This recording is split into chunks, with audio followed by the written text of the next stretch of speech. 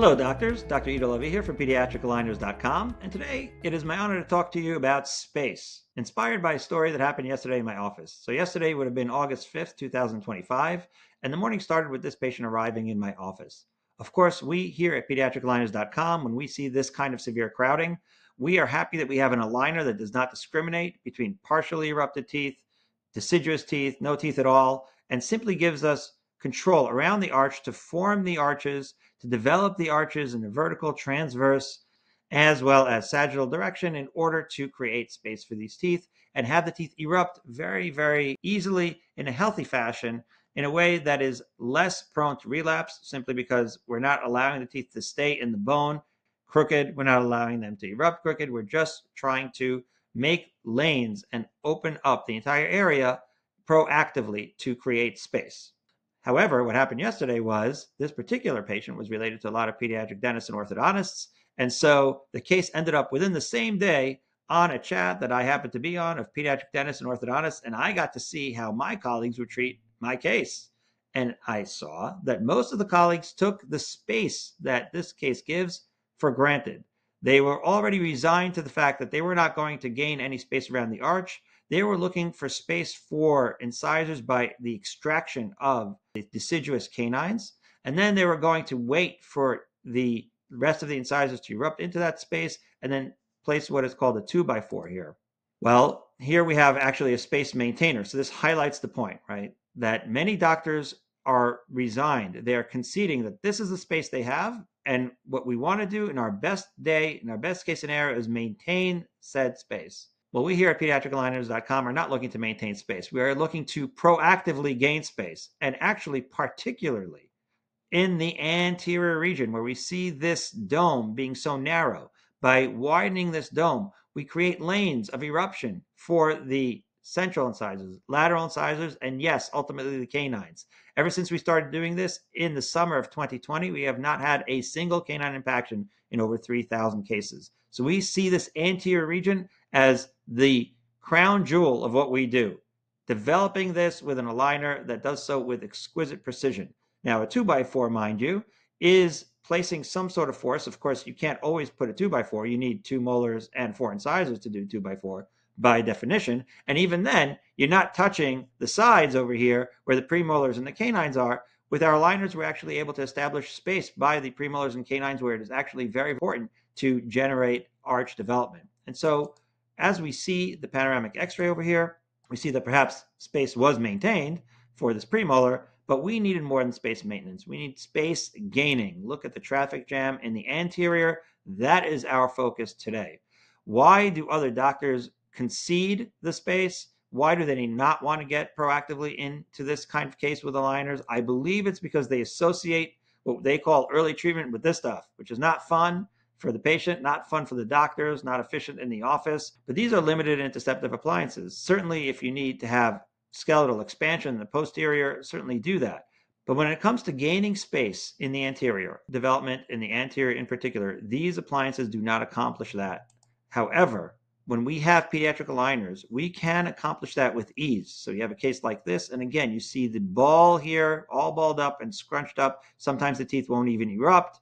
And yet that doesn't matter. When you have an aligner, you can guide the teeth into place and develop a nice arch form. This is true of the maxillary as well as the mandibular. We're not looking to extract primary canines and diminish arch length. We're looking to increase arch length and fit the teeth into place. We liken it to taking the narrow domes of Santorini and widening it like the Superdome.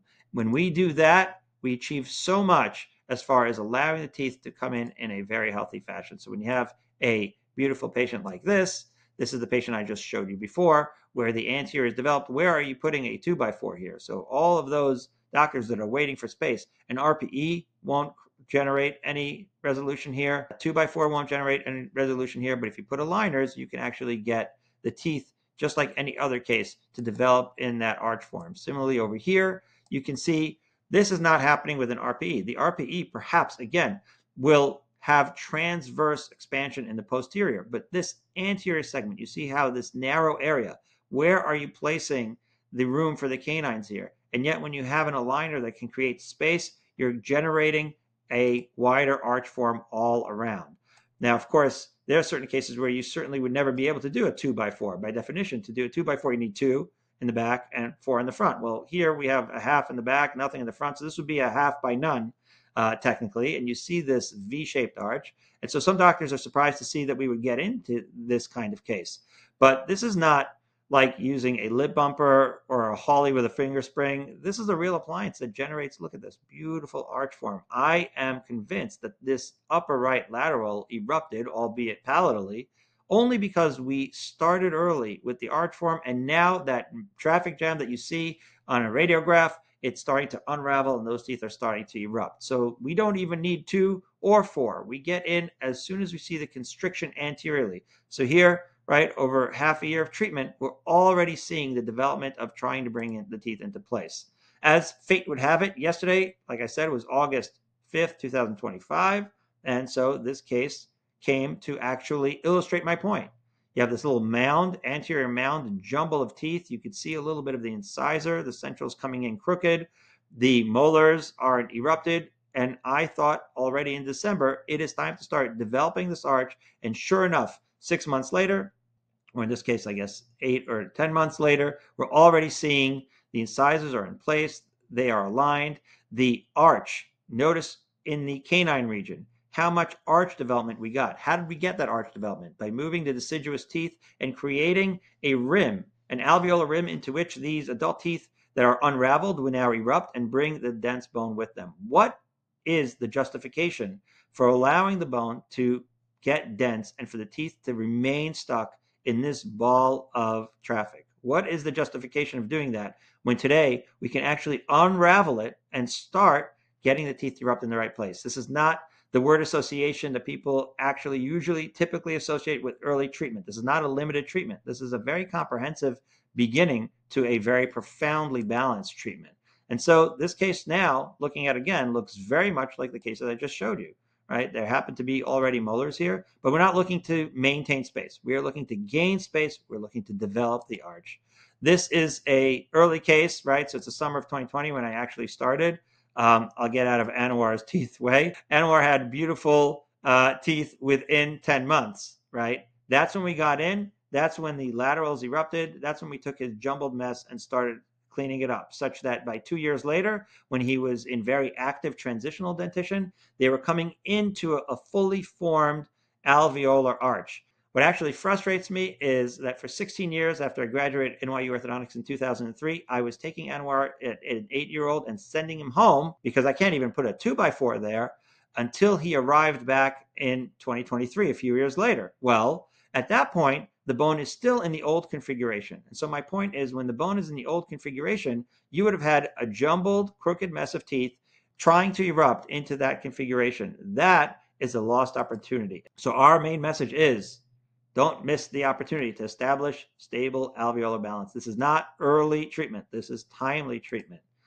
Uh, last cases came in this summer. So, right, that was the summer of 2020 and now in the summer of 2025 this is us all day every day look at the asymmetry in the arch you're not going to do a two by one right nobody does that you have no leverage anywhere but when you can get on all of these teeth with aligners you get leverage everywhere notice the lower left lateral incisor that is lingually displaced and just a year later look at the beautiful symmetry that you're getting with the teeth look at the beautiful eruption and the beautiful correction of the asymmetry that you can do when you have actual control across the arch.